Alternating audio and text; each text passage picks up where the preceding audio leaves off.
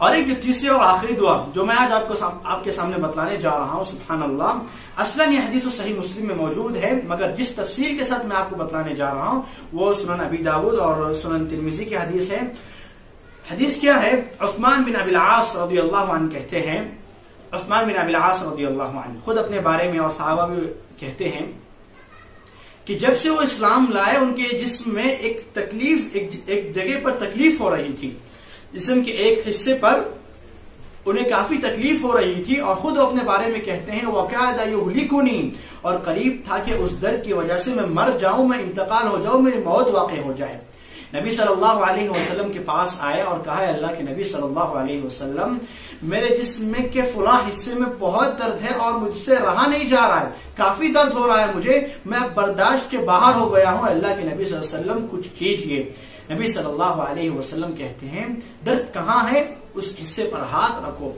तीन मरतबे बिस्मिल्लाह पढ़ो और उसके बाद आऊदु बिइज्जतिल्लाहि व कुदरतिहि मिन शर्रि मा अजिद व उहादिर। सात मरतबा ये दुआ पढ़ो कि मैं अल्लाह सुब्हानहु व तआला आऊदु बिइज्जतिल्लाहि व कुदरतिहि, कि मैं अल्लाह ताला की इज़्ज़त और कुदरत की पनाह चाहता हूँ, उसकी पनाह में आता हूँ।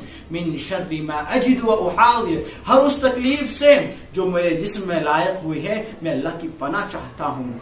उस्मान बिन अबिल आस रज़ी अल्लाह कहते हैं कि मैंने ये वजीफा अपनाया तो चंद ही दिनों बाद ये ये बीमारी, ये दर्द जो मेरे जिस्म में था वो खत्म हो गया सुबहान अल्लाह जो दर्द उनकी बीमारी, जो दर्द उनके जिस्म में सालों से खत्म ना हो सका, नबी सल्लल्लाहु अलैहि वसल्लम के बतलाए हुए इस वजीफे के मुताबिक चंद दिनों में वो शिफायाब हो गए, चंद दिनों में उनका वो दर्द खत्म हो गया सुबहान अल्लाह उसके बाद वो खुद कहते हैं उस्मान बिन अबिल आस रदी अल्लाह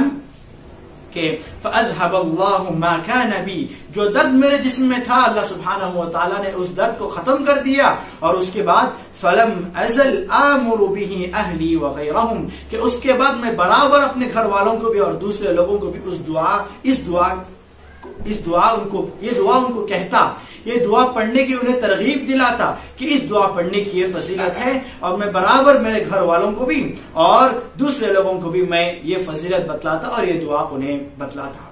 सुबहान अल्लाह नबी सल्लल्लाहु अलैहि वसल्लम की बतलाई हुई इन तालीमात इन तालीमात पर अगर हम अमल करेंगे तो यकीनन बड़ी सी बड़ी मुश्किल से भी हम नजात पा जाएँगे।